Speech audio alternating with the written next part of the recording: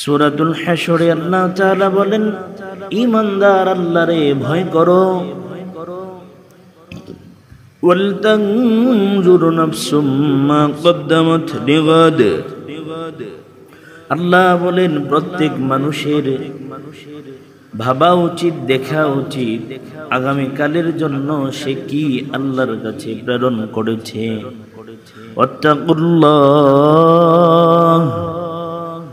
আল্লাহ বলেন এই ব্যাপারে আল্লাহরে ভয় করা উচিত যে আল্লাহর সামনে তাকে দাঁড়াতে হবে।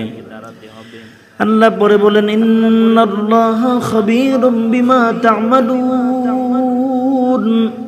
আল্লাহ বলেন নিশ্চয় আল্লাহ তাআলা তোমরা যা কিছু করছ, প্রত্যেকটা বিষয়ে আল্লাহ তাআলা সম্মুখ অবগত আছেন।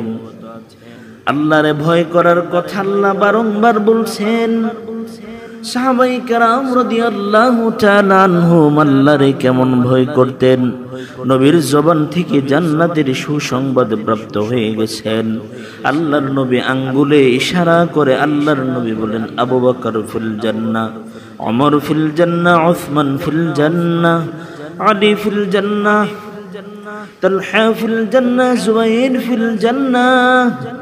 সাদ ফিল জান্না সাঈদ ফিল জান্না আব্দুর রহমান ইবনে আউফ ফিল জান্না আল্লাহর নবী সাল্লাল্লাহু আলাইহি ওয়াসাল্লাম আঙ্গুল ইশারা করে করে আল্লাহর নবী জান্নাতের কথা বলছেন, জান্নাতি হয়ে গেছে। নবী বলছেন, এরপরও সাহাবে কারামের ঘটনাটা শোনেন। সৈয়দনা ওমর ইবনুল খাত্তাব রাদিয়াল্লাহু তাআলা আনহু জীবনের শেষ কয়েকদিনের ঘটনা যদি আপনারা শোনেন, বুঝতে পারবেন সাহাবাই কারাম আল্লাহ তাআলার কি পরিমাণ ভয় করতেন। সৈয়দনা ওমর রাদিয়াল্লাহু তাআলা আনহুর হায়াতের শেষ দিকের কিছু ঘটনা। অমর রদিয়াল্লাহু তাআলার জীবনের শেষ কয়েকদিন বেহুশের মতো অমর রদিয়াল্লাহু তাআলা আনহুর কেটেছে। উনি দ্বিতীয় খলিফা থাকাকালে একদিন মসজিদে নামাজ পড়াচ্ছিলেন। ঠিক ওই মুহূর্তে দেখবে দুইন তার পিছন দিক দিয়ে বর্ষা দ্বারা অমর তাআলার শরীরে আঘাত করেন। বর্ষাটিতে বিষ লাগানো ছিল। যখন সেই বিষ লাগানো বর্ষা দ্বারা সেদন অমর রদিয়াল্লাহু আঘাতপ্রাপ্ত হন। ঠিক তার পিছনে থাকা তিনজন সাহাবি সেই বর্ষা ছুটাতে গিয়ে বিষের যন্ত্রণায় সাথে সাথে ওই স্থানে শাহাদাত বরণ করেন। এবং আর চারজন সাহাবি এর দুই তিন দিনের মধ্যে শহীদ হয়ে যান। মোট সাতজন সাহাবি শহীদ হয়ে যান।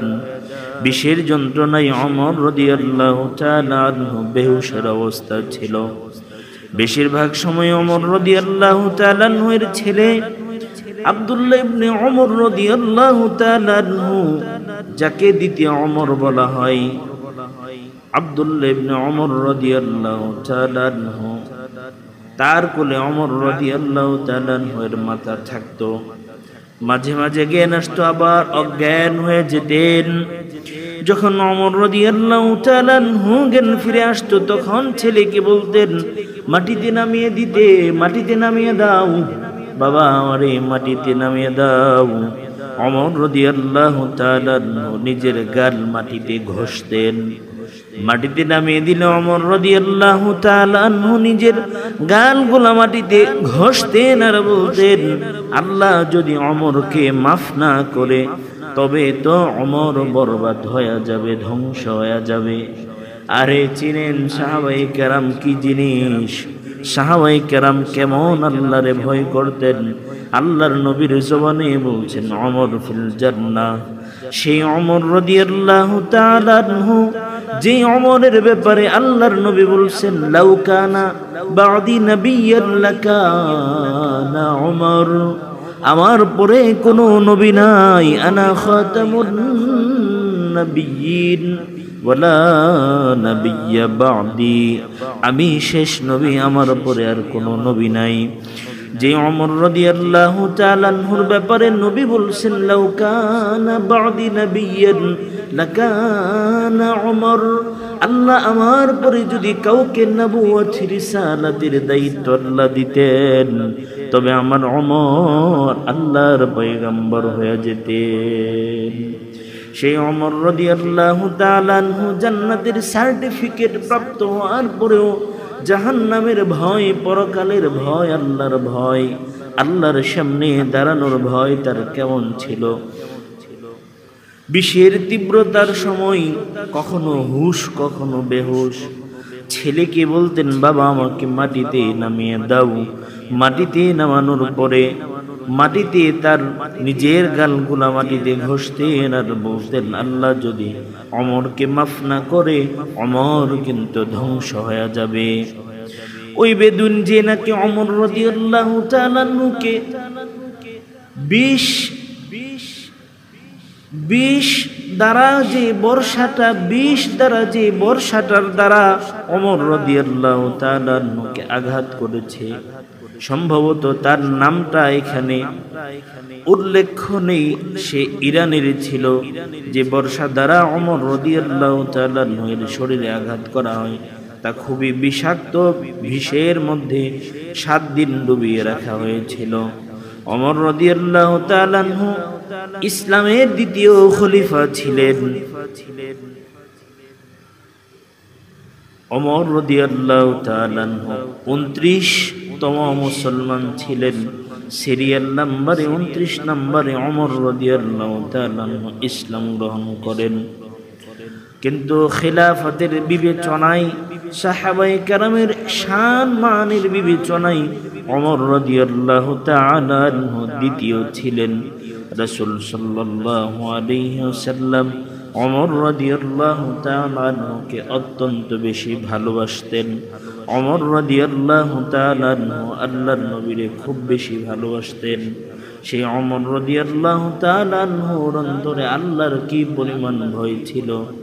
বিষাক্ত। যখন তীর দ্বারা যখন বর্ষা দ্বারা আঘাত করা হলো, তখনও অমর রদিয়াল্লাহ তালানহু আঘাতপ্রাপ্ত হওয়ার পরেও, বিষের প্রতিক্রিয়া থাকার পরেও আল্লাহর ভয় পরকালের ভয় কেমনভাবে কথা বলতেন? যে আল্লাহ যদি অমর রে মাফ না করে, অমর ধ্বংস হয়ে যাবে, অমর কিন্তু বরবাদ হয়ে যাবে। এটা ছিল সাহাবাই কারাম, সাহাবাই কারামের পরকালের ভয়। এটা আমরা অমরদিয়াল্লাহ তালাহুর এই ঘটনাটা শুনলাম। এই ধরনের অনেক বেশি ঘটনা আছে। এটা একটা ঘটনা ওনার জীবনের শেষ দিকের একটা ঘটনা। এজন্য আমরা সর্বোপরি আল্লাহ তাআলাকে ভয় করা আল্লাহর সামনে দাঁড়াতে হবে, সাহাবাই কারামের মতো আল্লাহকে। ভয় আমাদের করতে হবে।